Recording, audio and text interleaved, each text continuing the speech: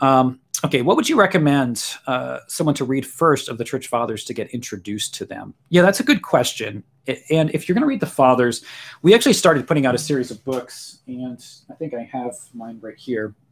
We only have one, but this um, this is Chrysostom's commentary on Galatians in our uh, Works of the Church Fathers for Modern Christians series. This is the only one we have, but we're, we're going to be putting out others as well.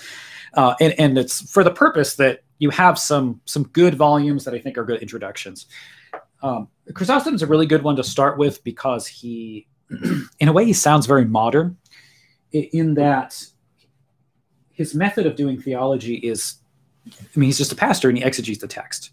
You know, he goes through, it's kind of like reading a modern day commentary. It's like I exactly the same. Um, the, the language is modernized there from the, the older uh, Schaff edition that you'll find in the public domain. Um, the Apostolic Fathers are a great place to start. Uh, John Chrysostom's a good place to start. Augustine's Confessions, of course. You know, a lot of the fathers can seem pretty confusing and esoteric at first. You know, if you read the Shepherd of Hermas, you'd be very confused, or you know, Origen is a bit confusing. So yeah, really, the First Clement, uh, the Ignatian epistles are a great place to start. Justin Martyr's apology is is really good.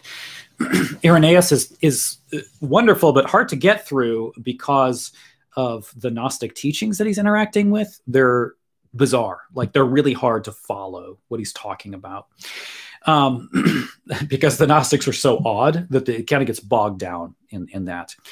Uh, but on the apostolic preaching by Irenaeus is probably a better place to go. Um, if you look at uh, St. Ambrose, I love Ambrose. You'll find that his interpretation is very allegorical. And for the modern reader, you may think it very odd. But in terms of practical application and just just the beauty of his his thoughts and, and phraseology and imagery, I mean, he's he's wonderful. So Augustine um, grabbed onto Ambrose right away as an orator and, and, rhetorician, even prior to his conversion. Um, so there, there's a good reason for that. So I'd recommend Ambrose. What I don't recommend doing, and Athanasius on the incarnation of the word. I mean, that's probably honestly that's probably the best place to start. I don't know why I didn't say that. Uh, I mean, that's a classic.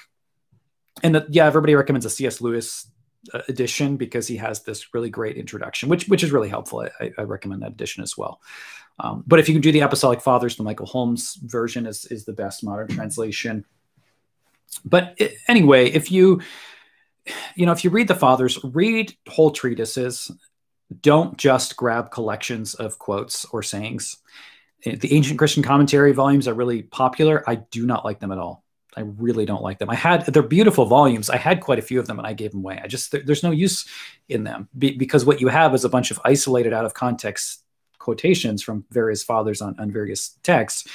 I uh, I've seen too much patristic proof texting to you know the abuse of that for me to be able to really find it very useful.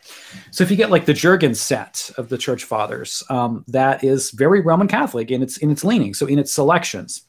You can find Protestant leaning ones as well. If you look at Thomas Oden's collections, they're very Protestant in orientation because of the citations that he grabs onto. So uh, I tend to just recommend that people read the individual fathers themselves. Um, and that's daunting because there's so many things. So those are the few things that I recommend. I really like Cyril of Alexandria as well on the two natures, and I know Cyril is has kind of a reputation in many ways, uh, negative ways for his attitude.